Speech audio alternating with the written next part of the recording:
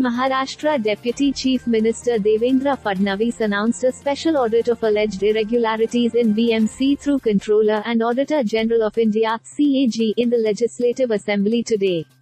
This will be a big blow to Uddhav Thackeray's camp ahead of upcoming municipal corporation polls. There are some specific complaints which are in such a nature that they require a special audit by CAG.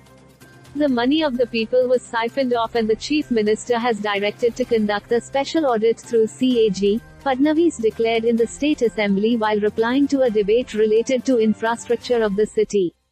He also clarified that the investigations are not politically motivated and we are ordering probe to expose cartels who are looting people for several years.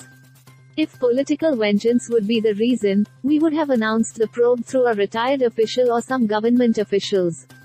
Fadnavis said that the BMC officials used to open companies overnight and bag the contracts during COVID pandemic from BMC. He assured that all who are involved will be probed.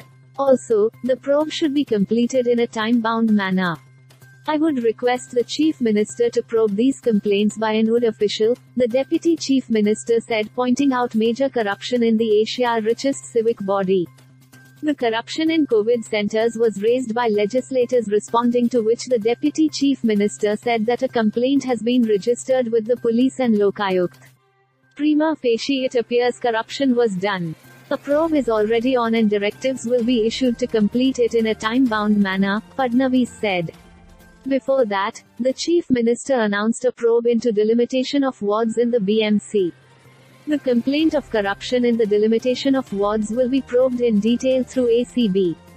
Those found will be punished and there will be vindictive action against everyone found guilty, CM Eknath Shinde pointed out. However, Aditya Thackeray while speaking to media said that they are ready for any investigations.